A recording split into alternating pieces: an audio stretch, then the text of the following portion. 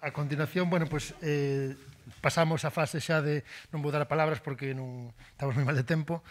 Eh, pasamos a fase de peche do deste acto de hoxendía. Eu creo que a conclusión, por con, única conclusión de que creo que con todo, con todo aquí falado, volveremos a convocar unha reunión, vos ide pensando todo o que aquí se dixo e na que iremos, continuaremos conformando esas, esas candidaturas e eses, eses proxectos a, a continuación doy a palabra en primeiro lugar ao presidente da Comunidade Intermunicipal do, do Alto Miño e colega presidente da, de Melgaso e despois a pechar a, a presidenta da Deputación Carmela Silva.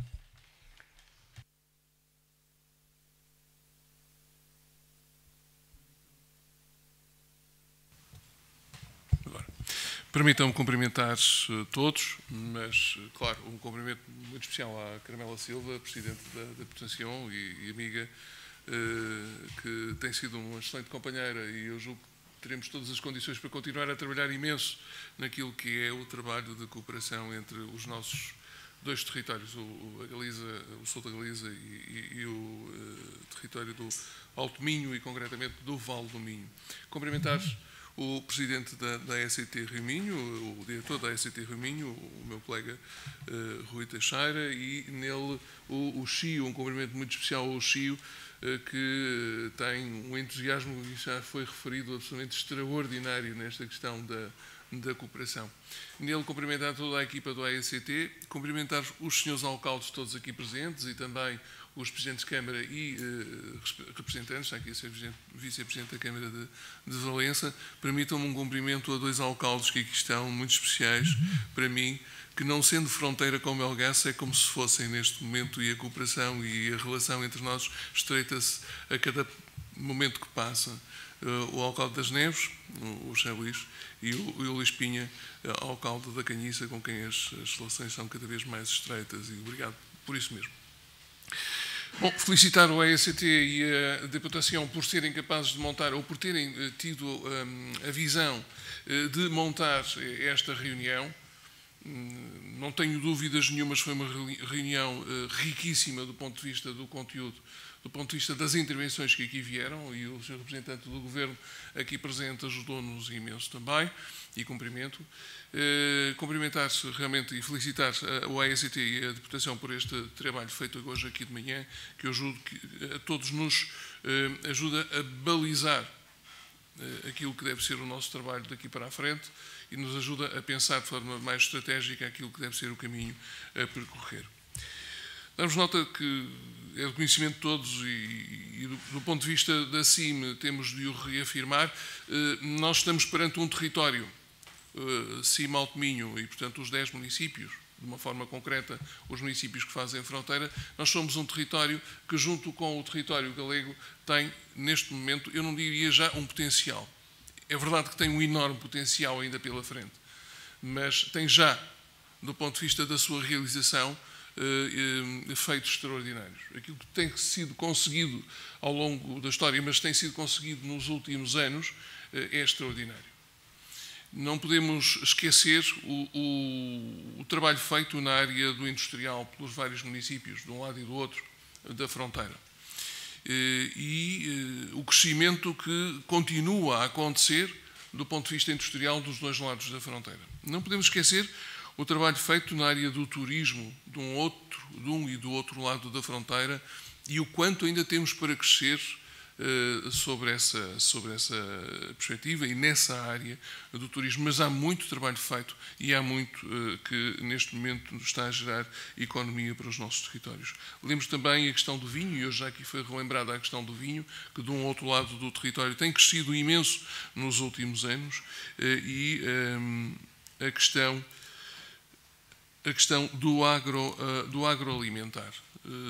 Se a questão e a área da indústria é importante, se a área do turismo é fundamental, os vinhos complementam perfeitamente o resto do agroindustrial, o resto do, do, do, do de sermos capazes de recolher do território da terra eh, valor, eh, com um foco grande na agricultura, numa agricultura renovada, numa agricultura que se reinventa, eu acho que é muito, muito importante. E, portanto, temos aqui áreas, eh, e cito estas quatro, outras poderiam citadas, mas julgo que estas quatro são aquelas que são fundamentais para o nosso território.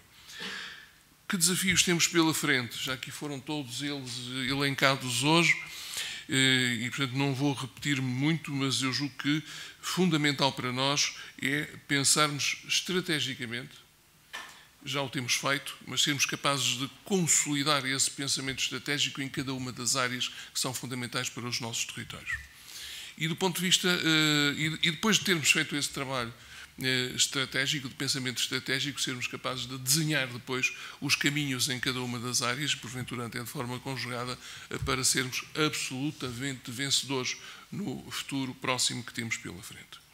E depois de um pensamento estratégico grande que está a ser feito, e felicito o AECT no, no, no caminho que fez ao longo destes últimos dois, três anos nessa matéria.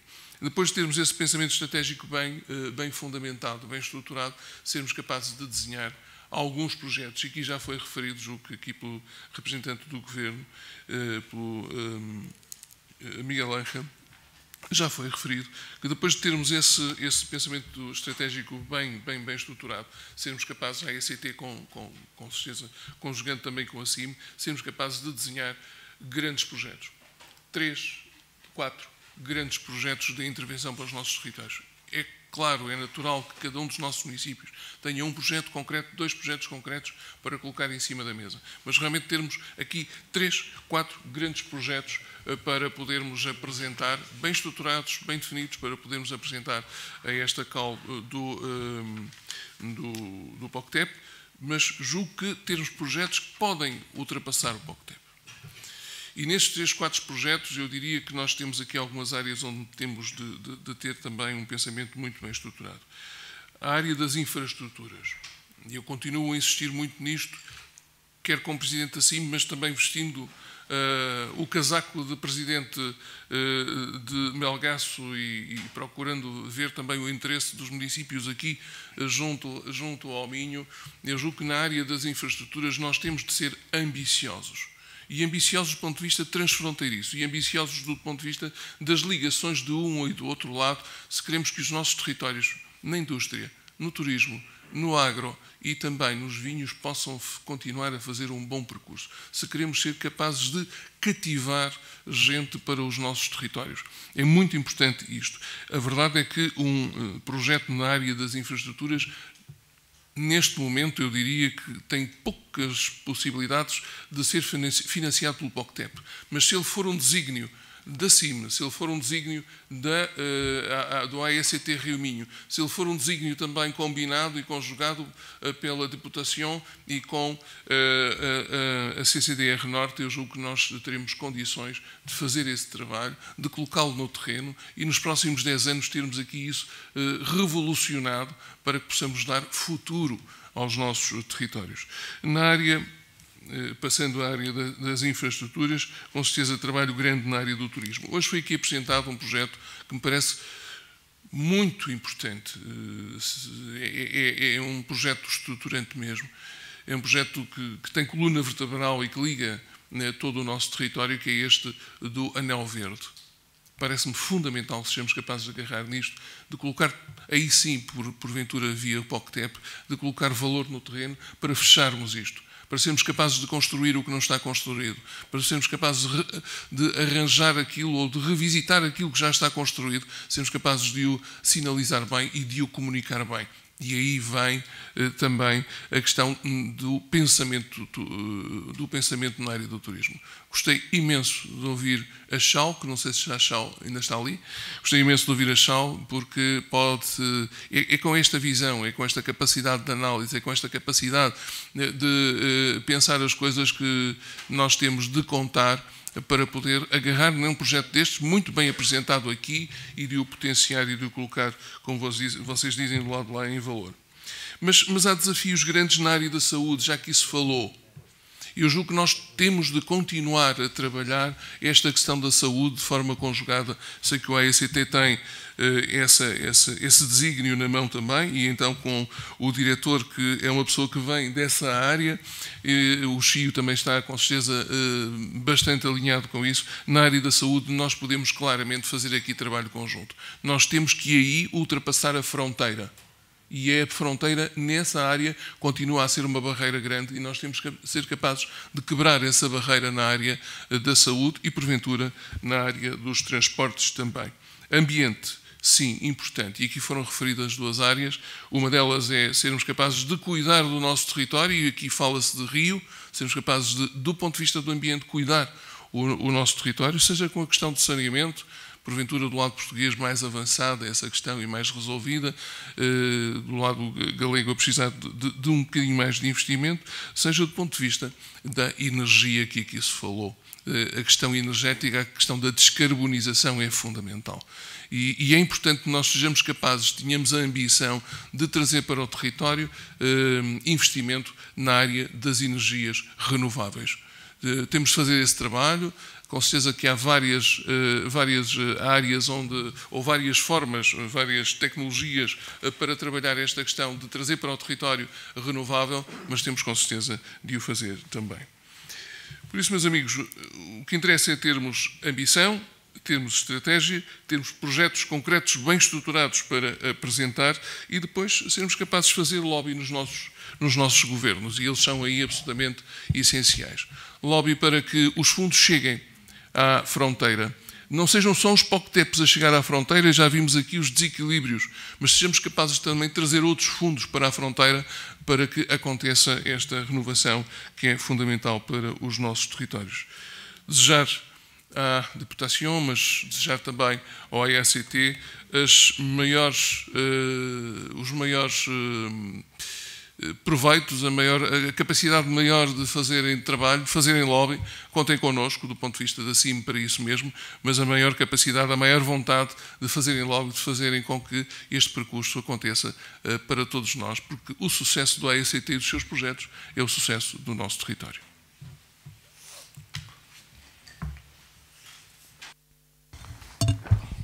Bueno, bom mediodía. a todas e a todos. Eu quero saudar as alcaldesas e os alcaldes do sur de Galicia, de o Río Miño, aos presidentes das cámaras do país veciño, amigo e querido, e cada vez máis cercano.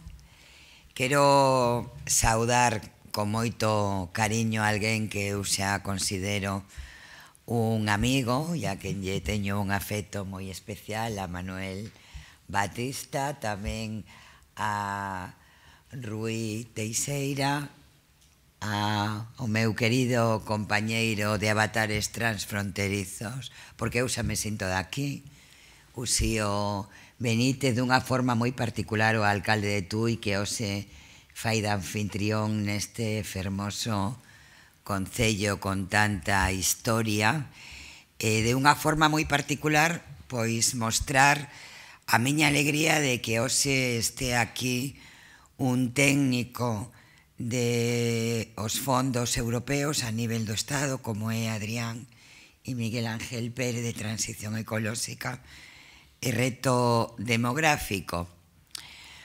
Teño fama de falar moi claro. E cada día falo máis claro. Creo que é porque son maior. E entón xa non teño tantos límites, non? A idade te dá unha certa permisividade e a xente te permite, non? Pois falar máis claro. E hoxe tamén quero falar claro. En primer lugar, quero facer unha afirmación que é unha realidade. Está basado en datos, non? que é que a creación da CT Río Miño foi unha grande idea e un grande éxito. Unha grande idea e un grande éxito. Coñezo poucas AECTs que teñen moito máis tempo que esta, que foran capaces de construir un relato, un discurso, un proxecto común tan potente e que lograra tanta unidade, tanto na zona do sur de Galicia como na zona do norte de Portugal. Foi un proxecto de éxito porque hai moita pasión por este entorno, moita convicción de que ten moitísimas potencialidades de desenvolvemento, ademais de unha realidade económica, cultural, eh, social e política que xa é unha realidade moi potente que temos que seguir desenvolvendo, porque hai moita inteligencia, porque hai moita consciencia de que os recursos públicos hai que gastalos ben, de que temos que ter a obriga de ter unha ética política de bo uso dos recursos públicos que signifiquen crecemento, desenvolvemento e grandes transformacións dos entornos onde se inviste ese dinero, diñeiro que quero recordar que é diñeiro público, é diñeiro, diñeiro do consunto da sociedade, que xa non pode ocurrir que se presenten proxectos por aquelo de ter fondos europeos que non, que os proxectos tienen que ser serios, rigurosos, potentes estratégicos e transformadores, con unhas liñas claras, con obxectivos claros e con avaliamento claro do que que se perseguía, se conseguiu e conseguiu todas as transformacións que se tiñan previstas, que teñen que ser transformacións a todos os niveis, desde logo, con unha mirada de sostibilidade, con unha mirada de innovación, con unha mirada de respeto ao medio ambiente e con unha mirada de construir grandes entornos de desenvolvemento. Tamén tense que acabar aquelo de exclusivamente pequenos proxectos que non teñen a capacidade de transformar a grandes entornos, que teñen moitas cuestións en común que nos van a permitir ser competitivos, xerar calidade de vida para as nosas veciñas e os nosos veciños. E quería comenzar así para decir e afirmar que isto só será posible se o mundo local deixa de ser un mero instrumento político eh, que, pois, mm, é subsidiario de outros eh, administracións, como é a dos gobernos estatais, e no noso caso, das comunidades autónomas.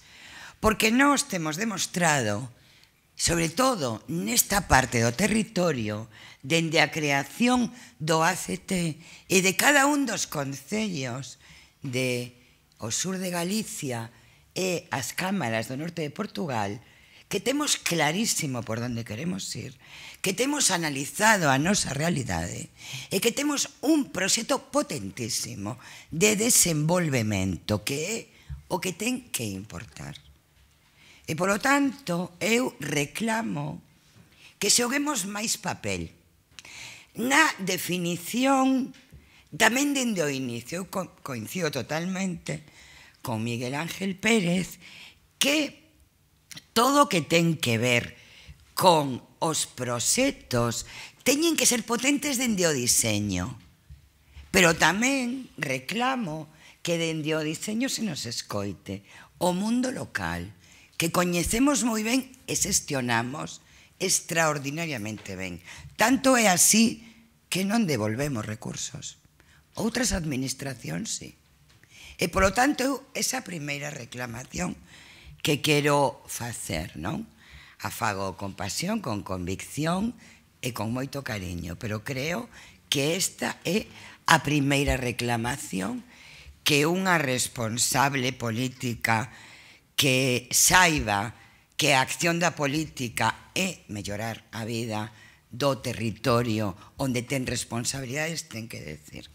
En segundo lugar, eu entendo perfectamente que particularmente noso Estado español ten unha estructura de poder político complexa, goberno do Estado, comunidades autónomas e mundo local. E mundo local. E nos estamos en unha situación na que non estamos no mismo nivel de capacidade de decidir. E polo tanto eu tamén creo que debemos facer a reflexión de que todas as convocatorias que salgan con recursos públicos sexan do plan de resiliencia ou sexan do novo marco financiero eh, hai que obrigar a que os organismos con capacidade legislativa, eses que ocupan tanto poder, e falo claramente das comunidades autónomas, teñan a obriga de defender os mellores proxectos. Polo tanto, criterios objetivos tamén, agora de que cheguen recursos directamente. Para que? para que realmente haxa unha transformación que sexa equitativa, con criterios objetivos e verdadeiramente transformadora. Porque eso de o que se trata. Se trata de que os recursos públicos consigan que fagamos frente aos retos aos que nos temos que enfrentar, que son moitos neste mundo tan complexo no que no que vivimos. Non? Eu tamén creo que é fundamental que sexamos conscientes da enorme potencialidade que ten ser territorio transfronterizo. É unha potencialidade que todos os gobernos, o do Estado e os autonómicos, teñen que ter como un valor, teñen que de verdad pasar da conciencia teórica a conciencia práctica de que ser territorio transfronterizo ten un enorme poder para cambiar. Un enorme poder para cambiar. E, polo tanto, temos que ser capaces tamén de que os gobernos con capacidade para tomar decisións o mundo local non a temos, pois creen os instrumentos que permita ser máis áxiles, máis eficaces, sexa, sexamos capaces de ter instrumentos xurídicos que nos permita avanzar cando ademais hai dúas legislacións diferentes e iso ten que ser un grande obxectivo e non temos moito tempo para crear esos instrumentos. Creo que eso tamén é algo que temos que facer de forma inmediata E por último, e remato, eu creo que a palabra planificar é obrigada que o mundo da administración pública a teña claro. E aquí a temos clarísima. Temos clarísimo que hai que planificar, que hai que ter unha estrategia, nos a temos, temos un plan estratégico para esta zona, elaborado durante moito tempo, escoitando a o mundo local de ambos lados do río Miño, pero tamén a sociedade, a universidade, a sociedade, a xente con inteligencia tamén, é dicir, ao talento de todos estes entornos. Por tanto, temos moi claro que hai que facer aquí. E temos unha planificación. E esta reunión, esta reunión é proba de que estamos planificando Polo tanto, somos un modelo a seguir. Un modelo a seguir. E como temos tan claro o que queremos facer, pois tamén temos moi claro que imos a traballar para facernos escoitar, para reivindicar as nosas causas justas que son fermosas, potentes cheas de ideas e de proxetos transformadores que xa os estamos desenvolvendo con recursos propios. Na maioría dos casos e precisamos de ese apoio porque eu aseguro que con recursos en cinco anos non hai quen coñeza este territorio. Así, de curto poño prazo, pero precisamos de que de verdade se aposte pola transformación, non por gastar recursos europeos, mm. sino por usar os recursos europeos para transformar. E nós imos a seguir traballando coa mesma pasión, coa mesma convicción e reivindicando aquilo que consideramos susto porque temos moi claro que é o que queremos facer en este territorio. Ademais, somos xente enamorada deste territorio porque coñecemos moito, sabemos das súas potencialidades, do dinamismo de este territorio, estamos nun eixo potentísimo de desenvolvemento para a Unión Europea e eu creo que hai que tomar nota do que está acontecendo aquí e tomar nota significa ter compromiso real e que se atenda os proxectos que presentamos porque o afirmo contundentemente ninguén vai a presentar mellores proxectos que nós ninguén Ninguén, porque estamos facendo, estamos transformando a nivel de mobilidade esta provincia como ningunha outra, e non digo de Galicia, eh? digo do Estado, a nivel de tratamento de residuos, a tratamento, en octavo que ten que ver coa igualdade entre mulleres e homes, todo o que ten que ver coa innovación, todo o que ten que ver coa digitalización, todo o que ten que ver co o valor engadido do sector primario, da industria, o turismo sostible, de verdad, creo, aquí hai unha máquina de transformar e precisamos do apoio do goberno do Estado e das comunidades autónomas e xogar máis papel. Precisamos xogar máis papel e eso o reclamo agora si xa remato cunha sonrisa, pero creo que temos unha obriga moral como xente que se adica a política e que representa a xente de falar claro, de ser reivindicativos e de que poidamos cambiar e mellorar a vida da nosa xente. Nos vivimos nun lugar extraordinario, a nosa provincia de Pontevedra é a mellor provincia do mundo mundial, e o norte de Portugal é o mellor mm, territorio tamén do mundo mundial. E así o digo porque fun así moi apasional, non? E agora para distender un pouco, pero creo que hai que falar claro, eu creo que aquí poden pasar cousas extraordinarias que nos convirtan nun exemplo. Só vos pedimos empatía. Eu creo que temos a sorte de que o secretario de Estado de reto demográfico é un home no mundo local, é un home tamén que ven de espacios transfronteirizos, que entende moi ben eh, todo o que ten que ver con que o reto demográfico pase de ser unha teoría a convertirse en proxectos que loiten contra o despoboamento e contra a perda de riqueza do territorio, que, por certo, non solamente afecta aos pequenos concellos, acabará afectando aos medianos e aos grandes, e, polo tanto, pois é que contamos con esa simpatía. Pero os fondos europeos non poden seguir sendo un instrumento para para presentar proxectos por presentar, porque hai fondos, senón que de verdad teñen que convertirse en fondos que transformen moi profundamente en moi pouco tempo porque podemos facer. E como podemos facer, pois fagamos. E moitas gracias por esta reunión, moitas gracias a CT por todo o que está facendo. Creo que somos un exemplo a, a, a seguir e moitas grazas a a todas as responsables, homes e mulleres do mundo local que neste territorio están dando un claro exemplo de como se fai política. Me sinto orgullosísima. Gracias. Bueno, promo... moitas gracias a todos e a continuación as persoas que vos anotáis. Ah, vamos a sacar unha foto de grupo fora, non? Non chove, non? Podemos sacar unha foto de grupo fora e logo as persoas que vos quedes a, a, quedar o almorzo que temos aí, o, pois, pois nos vemos aí con